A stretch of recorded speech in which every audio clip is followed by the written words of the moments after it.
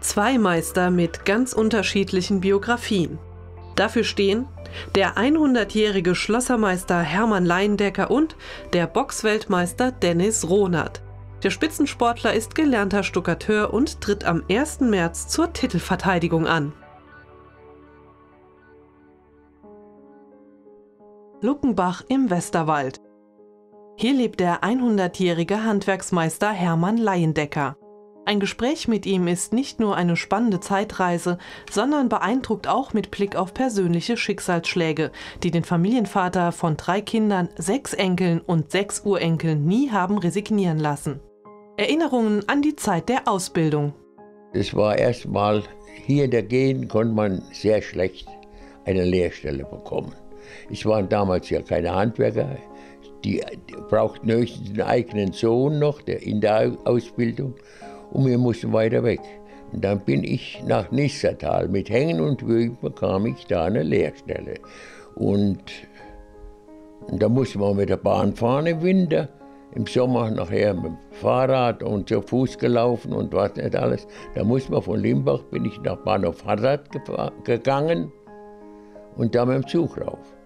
Damals kostete die Fahrt, ich glaube, 50 Pfennig. Das war 1928. Doch einen Fachkräftemangel wie heute gab es damals nicht. Ganz im Gegenteil. September 31 hatte ich ausgelernt mit der Arbeit war nichts zu tun. Kriegst keine Arbeit. Damals die schlechte Zeit.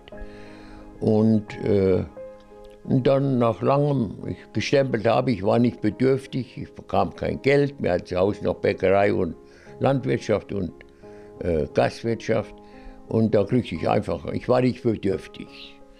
Und da habe ich sogar mal äh, ein gutes Vierteljahr in der Landwirtschaft gearbeitet.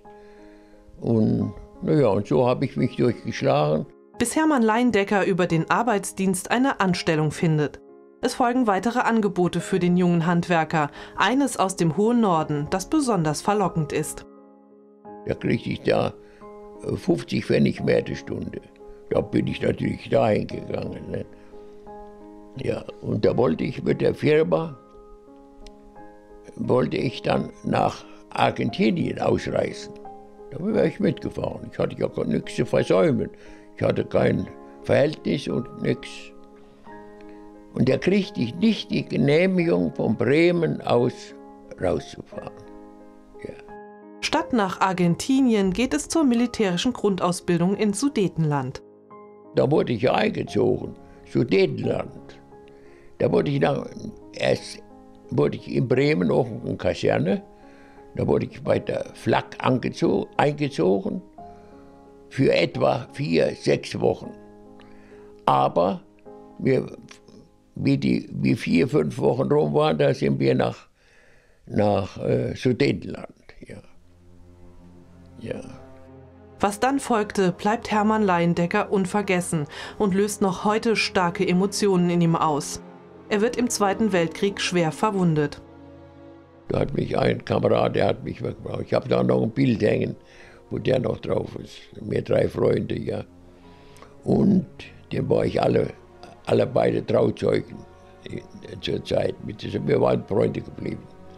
Und ja, und da wurde ich dann in der Nacht, sah das böse aus, da hatte ich einen zwei Steckschuss im linken Oberschenkel und den Armen. Da war natürlich nichts mehr mit los mit dem Armen. In der Nacht kam ein junger Offizier zu mir ins Bett. Wo sind Sie her? Sag ich vom Westerwald. Es ist unglaublich, was ich erzähle. Mir kommen die Tränen, dann denke. Sagte der, du musst, ich schaff dich weg. Die wollen hier den Namen wegmachen. Die kriegst du in Deutschland doch wieder repariert. Und äh, vom Westerwald, ja, da sind wir immer in Kur gefahren. Da waren die in meinem Elternhaus bei meiner Mutter in der Kur. Er mit seinen Eltern. Jetzt war er Offizier. Ne, war Arzt. Ja, wenn man sich das vorstellt, was man da. Und der hat mich rausgeschafft. Schließlich geht Hermann Leindecker kriegsverwundet zurück in den Westerwald, wo er 1944 heiratet. Eine Frau von Luckenbach. Und wir zogen, das war auch wieder ein Ding für sich. Und da haben wir keine große Hochzeit gemacht, das war 1944. Und da kriegte man nur für zwölf Personen S-Marken. Und da fuhren wir morgens von Hachenburg mit dem ersten Zug nach Limburg da war unsere Trauung. Nach der das frisch vermählte Paar viele Pläne schmiedet. Für Hermann Leindecker wegen seiner Verletzung eine Riesenherausforderung gehört auch die Meisterprüfung dazu. Die Meisterprüfung hatte man ja, die Vorbereitungskurs hatte man ja gemacht. Und äh, da kam ich, da wurde ich bestimmt, also kriegte ich Bescheid. In Dummelsberg habe ich die Stanz gebaut. Und der, das war der Obermeister vom Kreis Altenkirchen der hieß Bausler in, Bet in Betzdorf, der Bausler. Der kam jede Woche ein oder zweimal und hat mich kontrolliert, was ich da dran gemacht hatte. Dass ja kein anderer oder ich in eine Fabrik ging oder so. Das ich ja auch selber machte, ja. Und äh, ja, und dann wurde, mal, wurde ich eingeladen zur Meisterprüfung. Und zwar auf drei Tage vorgesehen. Man konnte nicht übernachten, wir haben im Bunker geschlafen. In den drei Tagen kommen sich die Meisterschüler näher und so tauschen sie sich auch zu ganz außergewöhnlichen Geschichten um ihre Meisterstücke aus. Denn ein Schlosser hat einen Kronleuchter gemacht. Einen Kronleuchter gemacht, alles aus Schmiedeisen. Sagte ich, äh, ja, denn da hätten sie ihm schon viel Geld im Zug für geboten. So wäre das Meisterstück fast nicht bei der Handwerkskammer in Koblenz angekommen, bei der Hermann Laiendecker schließlich die Prüfung besteht. Bei der Bekanntgabe der Prüfungsergebnisse erweckt ein weggeworfener Zettel seine Aufmerksamkeit, als der Prüfungsausschussvorsitzende knuddelte das Papier zusammen, schmiss es dahin. Da dachte ich, Donnerwetter, das musst du haben. Da musst du wissen, was da drauf stand. Und da stand drin. Und zwar geschrieben vom Obermeister Bausler an die, an die Prüfungskommission. Oder wie Prüfungskommission nannte sie sich, glaube ich, ja. Und äh, er wollte erfragen, äh, weil ich ein Schwerkriegsbeschädigter war, ob das berücksichtigt würde. Das, und da stand dann drin, nein, wenn einer die Prüfung macht und die Lehrlinge ausbildet und will anderen was zeigen, der muss auch die Meisterprüfung machen und muss das machen, was alle machen.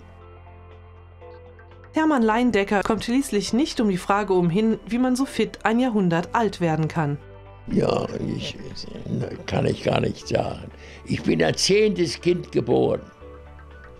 Und da war kein Trinker und kein nichts bei. Aber alle haben sie gearbeitet, ja. Die Arbeit als Handwerksmeister bis zu seinem 70. Lebensjahr. Auch die hat ihn geprägt und glücklich alt werden lassen.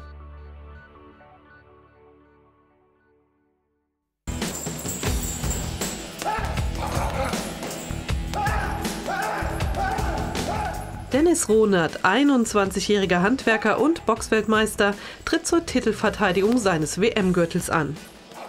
Der gelernte Stuckateur und IBF-Junioren-Weltmeister steigt am 1. März in Magdeburg in den Ring. Nicht allein, denn das Handwerk ist an seiner Seite und unterstützt ihn. Dennis Rohnert und die Bundesimage-Kampagne um das Handwerk, die Wirtschaftsmacht von nebenan, sind eine schlagkräftige Verbindung, die sich gegenseitig unterstützt. Rohnert ist nicht nur sportlicher Botschafter, sondern auch einer für das Handwerk. Unterstützung kann er sicherlich gut gebrauchen, wenn er vor vollen Rängen und einem Millionenpublikum im TV antritt. Ich boxe am 1. März, das ist ein Samstag, in Magdeburg um äh, meinen Titel. Also ich muss meinen Titel verteidigen, meinen Weltmeistertitel, IBF Juniorenweltmeister. Um 22.15 Uhr wird es auf äh, Sat 1 übertragen. Und ja, deswegen sollen die die Klotze anmachen. Ronald wie auch sein Gegner Schäfer die Sufi sind bisher ungeschlagen. Einer der beiden Boxer wird seine gute Bilanz nach diesem Abend fortsetzen können. Und dank guter Vorbereitung durch Trainer und Manager Detlef Loritz und das Handwerk hoffen natürlich alle, Dennis Ronert verlässt als Sieger die Arena in Magdeburg. Das Handwerk drückt Stuckateur Dennis die Daumen und wünscht alles Gute.